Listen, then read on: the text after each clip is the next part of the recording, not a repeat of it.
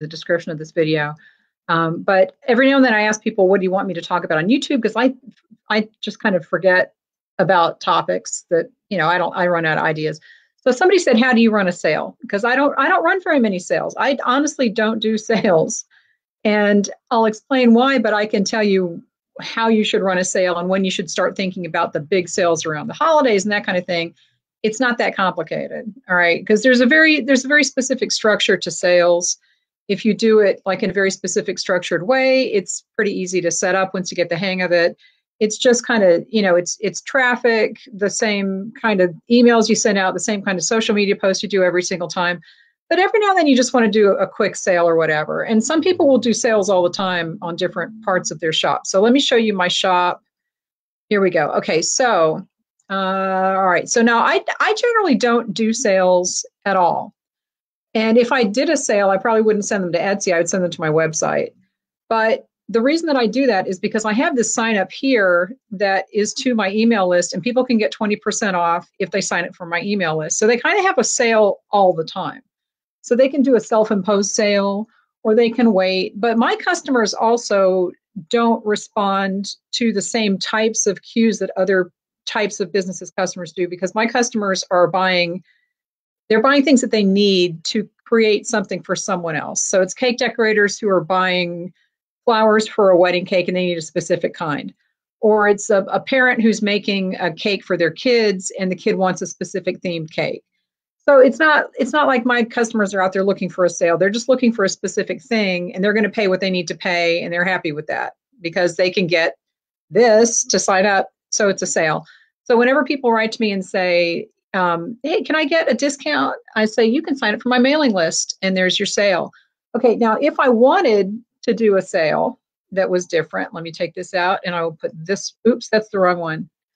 This one what I would do if I was going to set up a sale on Etsy is you go to your marketing tab, and it's over here in the grayed out area. It's marketing, and then I think it says sales and coupons, and then this comes up, and up here on the top it says new special offer. I know this is all grayed out, but I'm I'm just I had it I had it up and ready on the screen.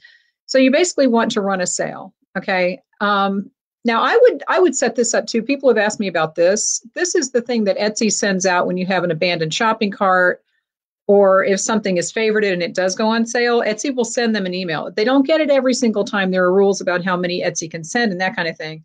But this it's worth setting this up because it's free. Go ahead and do it. That that has nothing to do with running a sale, but just go ahead and do it. Okay. Um, and it could be that no one will ever use it, but so what? Go ahead and do it. All right. So you want to click run a sale.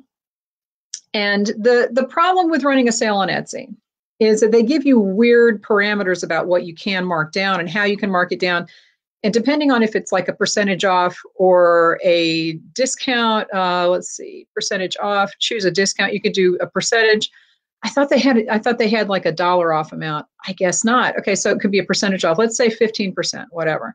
Now, actually, let's go back. When people sign up for my email list, they get 20% off. So for me to do a sale, I would have to have it higher than that because why bother? All right, because people aren't going to shop for less than what they can do normally. So I would do 30% off.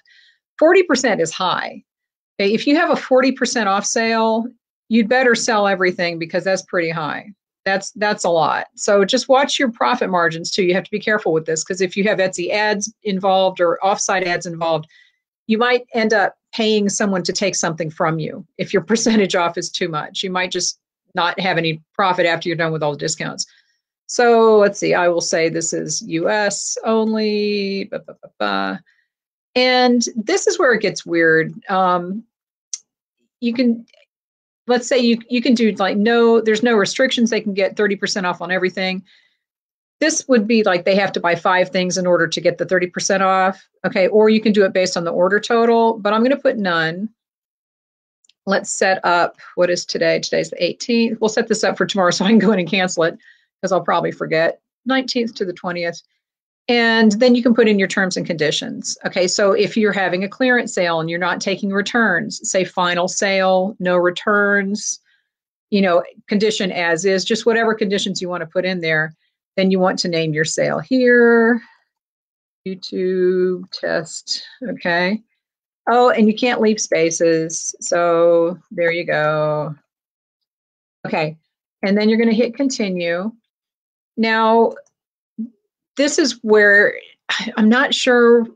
It looks like they might have changed some things here, which is nice. Okay, so let's say we're going to do cupcake wrappers. It's like printable cupcake. I'm in my other shop right now.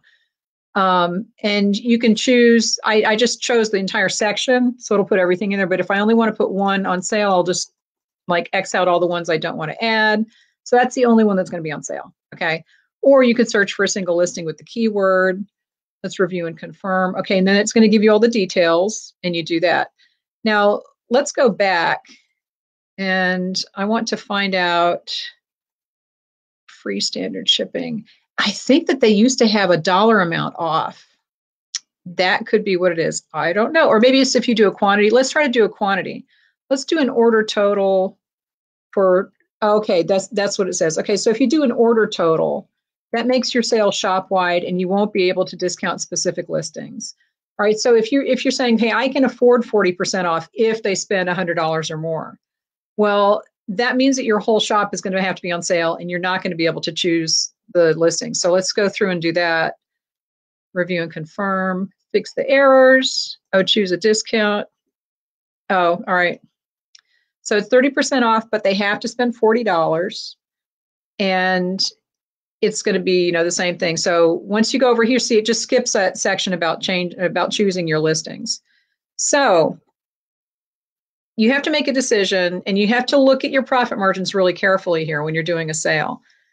I don't do the sale, like I said, because I offer the 20% off. So let's cancel this cancel special offer and then they're going to try to get you to to do it anyway and we're not going to do that okay so um,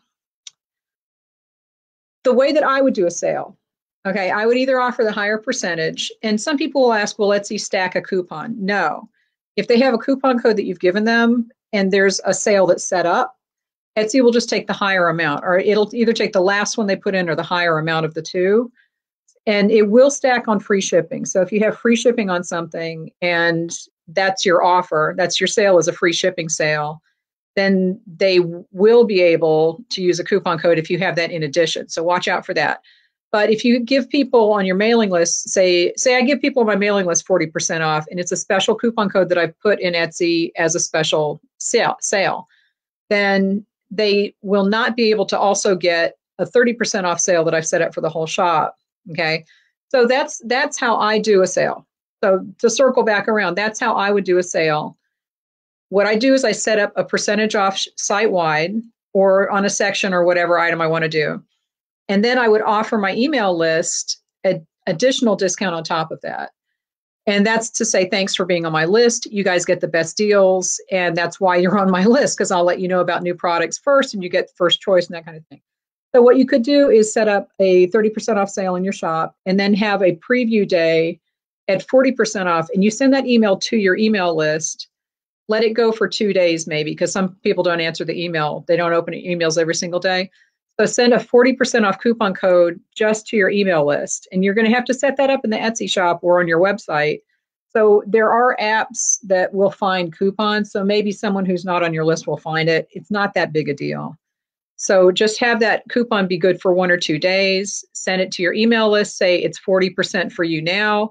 On Friday, it's going to drop back down to 30. So take advantage now, shop ahead, or you can just let that run the same amount as the sale days and let your email list shop with that coupon code the whole time. Either way works. You just want to make sure that the people on your email list get a better deal or in your Facebook group they get a better deal. Just some you want to give them some kind of a benefit to being on your list because that's why people sign up for email lists. They want the best deals. So make sure that you're doing that. And that's the easiest way to do it. Some people say, oh, I want to stack the coupons. And for that, you can use, there's an app called Etsy on sale. You can use that, but I think you might have to pay for it. I'm not sure. I haven't used it for so long because you don't need to. All you have to do is just send your email list a separate coupon code and say, use this instead of the sale code, and you're going to get a better deal. Okay. So that's how I run a sale when I do, which is hardly ever because I don't need to because I give out the email list sign up coupon code anyway. And I do remind people of what that code is every time I send an email out. It's not a big deal to me if they take that 20% because I have it factored into my prices. And that's something you need to think about too. Make sure that you're looking at your profit margins. It's not fun to run a handmade business when you're making things and you're earning $3 an hour. That is not good. So don't do that to yourself. Now, the other question that people had about sales, and I'm I always talk about this in the eShop group um, because I, I put stuff up about the holidays. There's a whole thing about prepping for the holidays and stuff in there. But there is a way that you can figure out when you should be planning ahead for gifts and buying seasons for different holidays. Okay, so let's show this. This is Google Trends. All right. All you have to do is go to Google. It's Trends. It's Google. I think it's trends.google.com. I put in trends.google.com or Google Google Trends. It's not hard. Okay, hard to say apparently, um, but you can put in whatever keyword you want. So I just put in Christmas gifts. So and this will tell you when people are searching for that keyword. So if you look here, people start searching for Christmas gift on Google right around August. So it's like the middle of August. And this 100 here shows when it's the most popular. So it's the most popular as a search term around mid December, mid to late December. Okay. And then here we go 22nd to 28th of December just drops to nothing, obviously, because Christmas is over. Okay. So you can go in and do that and see when should you be prepping for Christmas? Well, the searches start in August. And if you think, oh, that can't be true, people don't shop that early. Let's look at the past five years. Okay. This is the past five years of data, and it's a pretty consistent trend. If you look at this curve, so August, it starts to go up. August, that's September. Right there is August, it starts to go up. It kind of went crazy in July there. August, it starts to go up. So every August, it goes up, and right at Christmas, it drops off. Okay. So you can do the same thing in Google Trends for things like Mother's Day. Okay. And I would leave the apostrophes out because people, you know, tend to not put those in when they're searching. So look, at the end of February, end of February, that's late January, that's the beginning of February. I think people went crazy in 2018. I don't know why. Um, February, February, yeah, it's like late January, early February. So this this is a pretty consistent trend. Again, well, let's look at this chart by itself. That's a pretty consistent chart. Okay. And if you just look at the past 12 months here, it'll take you, and you can see the last year, you can see it a little more closely. So, really, at the beginning of the year, it goes up a little bit. And then in March, it goes up a lot. Like it starts to go up in February and March, but then really, let's see, in April, like mid to late April, it goes up. So, you can check any kind of holiday. What you have to remember is that you want to do the sale number one give yourself time to ship things okay? Because you don't want to do the sale right here because that's mother's day.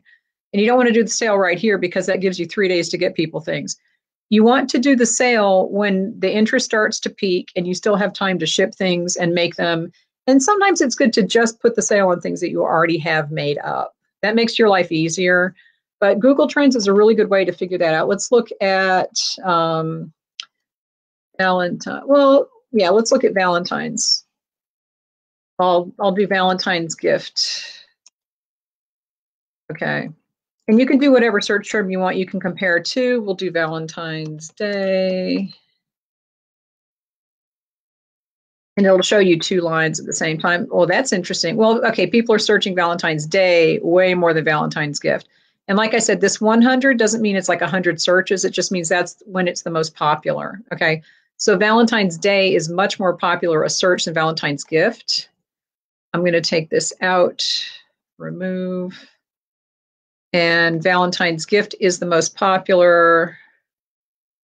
If I can hover over this, yeah, right around Valentine's Day. So I would do my sale for Valentine's Day maybe the end of January, mid to late January, and I would end it probably about a week before because I don't want to have to take more than a week to send things. And that's just domestically. If you're shipping internationally, it's a different story. So you want to make sure your shipping time is going to be okay.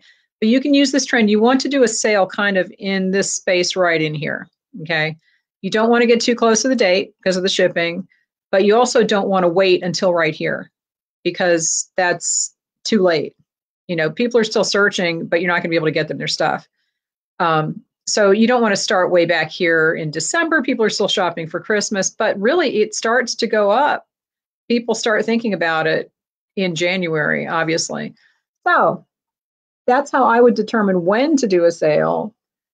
How I would determine how to do a sale is more about, um, you know, like what I'm going to offer my email list. But you want to start prepping about a week ahead of the sale if you're going to do a special sale just for your email list and then for the rest of the people in the general public.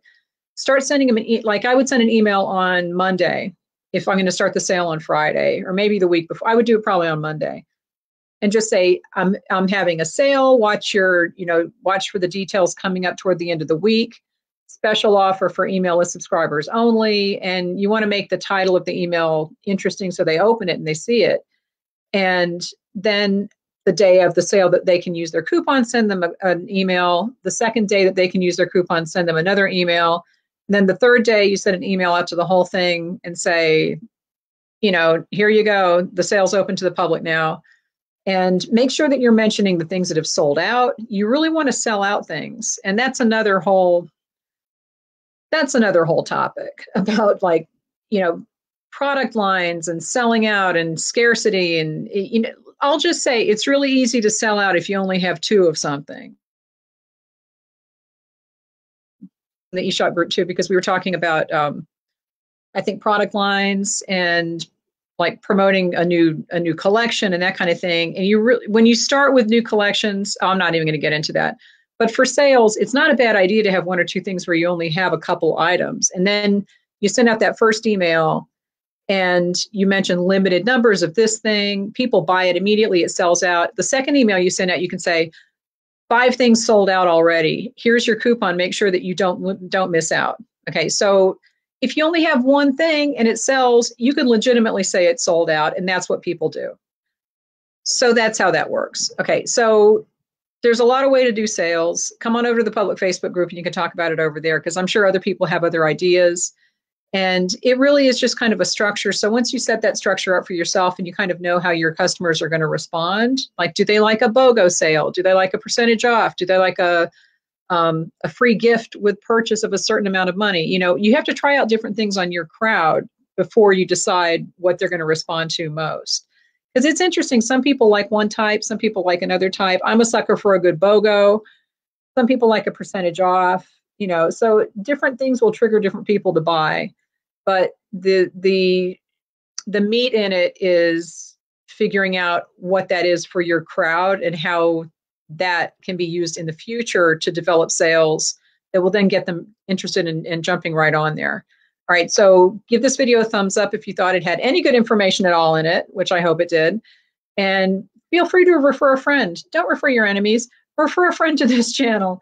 And go ahead and join the Facebook group because we talk about home-based business and Etsy a lot. And um, it's it's a no whining Etsy group, which I know is is an anomaly, but they do exist. And we have one, there's a link in the description.